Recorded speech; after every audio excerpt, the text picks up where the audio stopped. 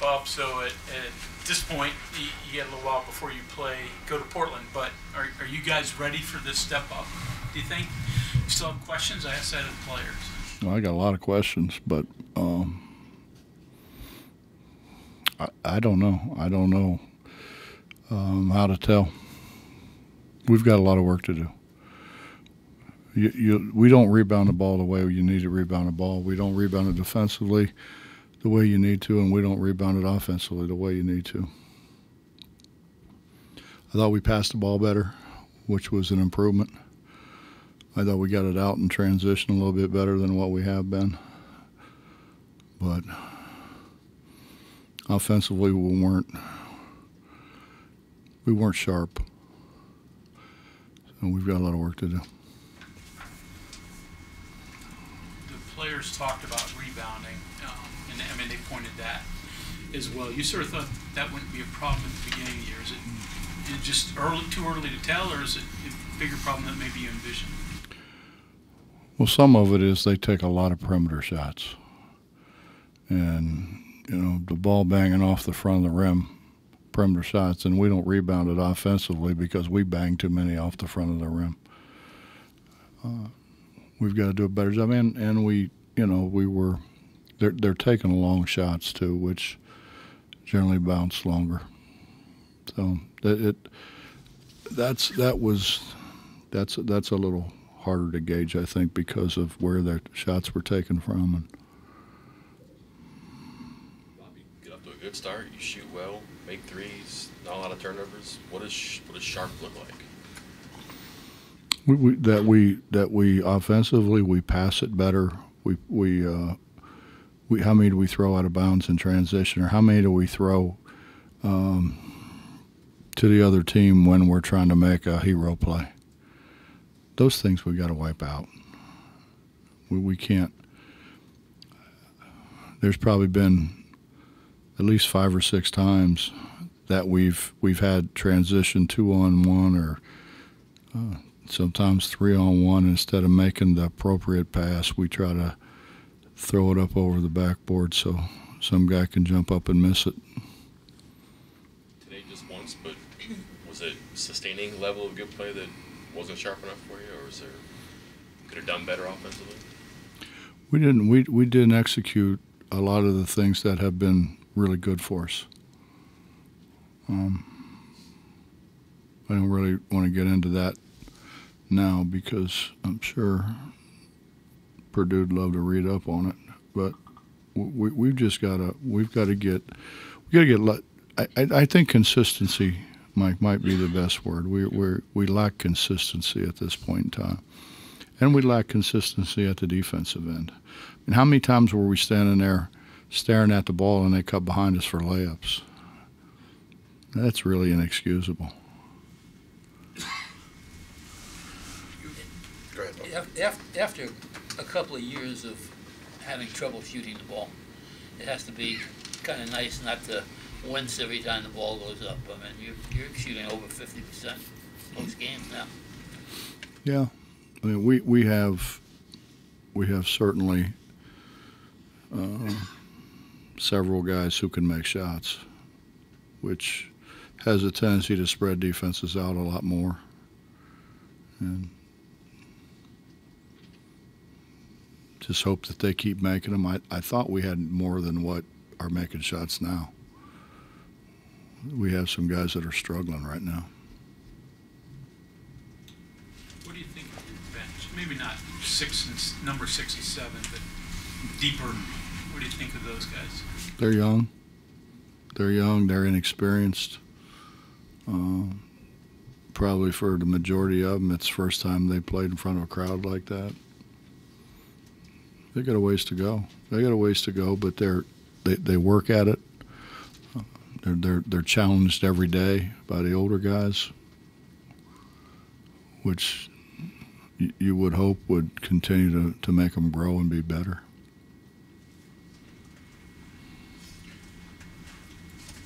The, the shooting, and I know other people have asked about it. I mean, we've gone into other preseasons and you've talked about, you know, hey, we've got some guys who can make some shots, and then sometimes it just doesn't hasn't always panned out. Uh, that way. This year, it's, it's been a different story so far, and I'm just kind of wondering, has it just been, you know, because the different guys are here, or is there anything more to it than that? Because, I mean, I can't, you know, like Bob said, you guys are shooting over fifty percent through four games. We made a conscious effort to recruit some guys who could make shots. I mean, we knew Erik Stevenson could make shots. He made shots against us uh, in uh, in Mexico. Um, obviously, Tre's history is is is he can certainly make shots. Uh, Keedy's really worked at his game. Keedy's gotten much better. Keedy's very capable of making shots. Joe's really worked hard at his.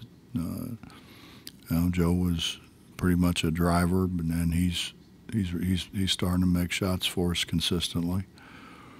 You know, it's it's it's a matter of, of those guys putting time in, a matter of those guys uh, continuing to continue to grow. Um, you know, there for a while. I mean, honestly, I thought some of our freshmen shot it better than our older guys, or freshmen, sophomores, whatever they were. But as as kind of we've gone along and and the competition has kind of stepped up a little bit.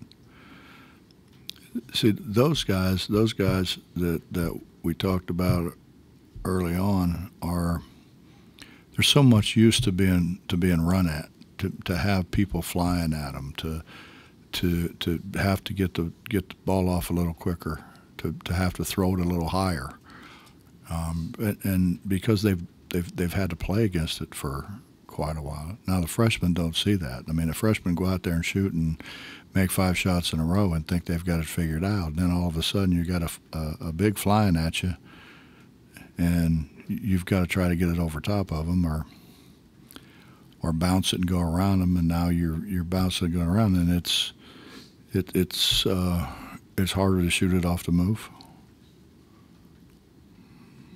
Be very interested in next week, seeing how you respond when this team gets punched in the mouth. Because, I mean, you're gonna face good teams that are gonna make runs with you. Mm-hmm. Oh, absolutely. To see. I think that the the guys that we talked about earlier will be consistent. I think they'll I think they'll relish the opportunity to play. You know, the the thing that you that you wonder about is they got a guy whatever he is seven two seven four. We haven't seen that. Uh, that's different, and it it it. I think you know he affects the game in a lot of ways. He affects the game and in his ability to score the ball, and he and he scores it over people. And I've, I've I've watched him this year. I mean, it's just it's easy for him to score it over people.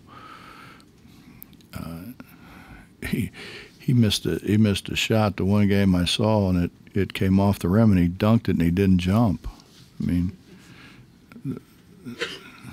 and he's not just tall. He's he's big. He's strong. He's they've they've done a terrific job with him. Paint's done a terrific job with him. You know, there's not many games Jimmy's going to go into and be a small, smaller guy. I mean, what do you tell him in a, in a matchup like that? Well, you know, there there there's more on the floor, Justin, than 10, 10 players.